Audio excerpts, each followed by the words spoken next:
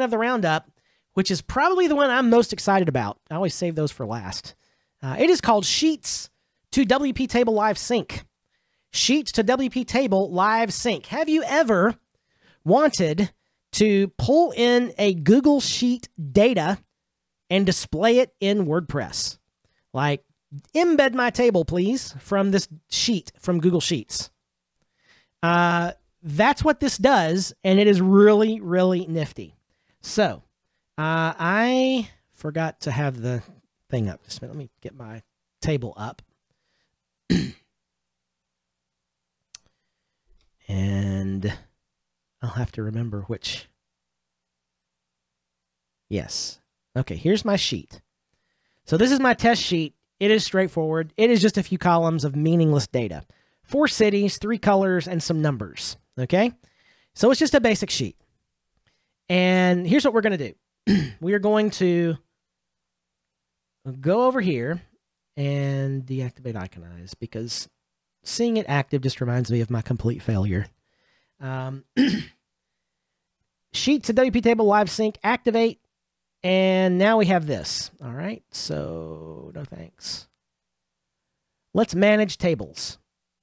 So what we're going to do, uh, create table first we are going to uh, source type, and the pro, pro version lets you do many things here, like just a CSV file, flat file, or Excel file. It's going to be a Google Sheet. Now, here's the, the important thing, okay? This, like, I wanted this plugin to work so bad, I persisted, and it actually took me watching one of their YouTube videos to see why. It's not apparent that you need to do this. So, Follow my example, please. First, you go, and I don't know why you have to do this, but you do.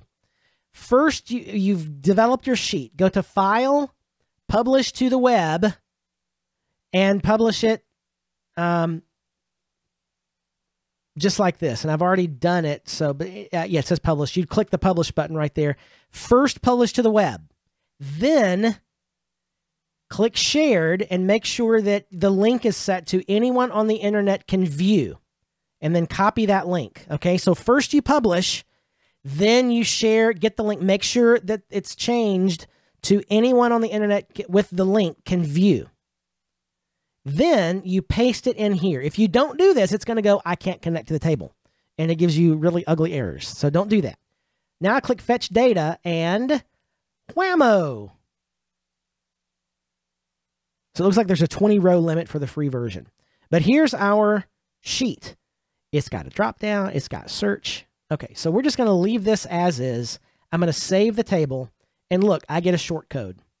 There's my short code. I have copied it. I'm now going to jump over to another page, edit it.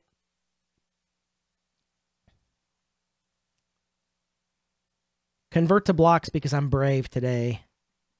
Okay, now we are going to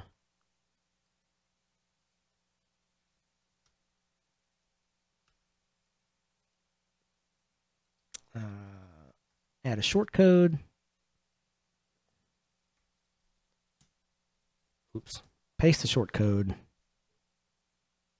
And I'm going to put that at the top of the page. Update.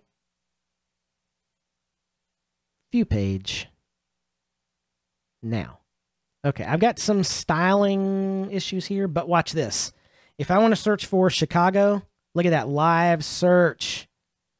If I want everything with 4,000, look at that. Look at that. Isn't that cool? So you can sort, by the way, here as well.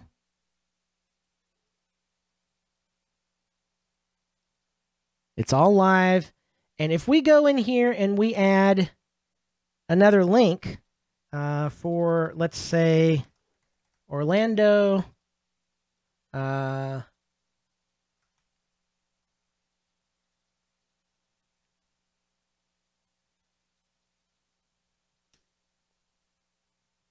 I think that's going to live update it.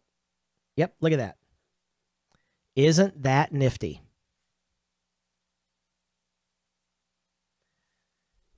So it live pulls it in. Uh, let's see.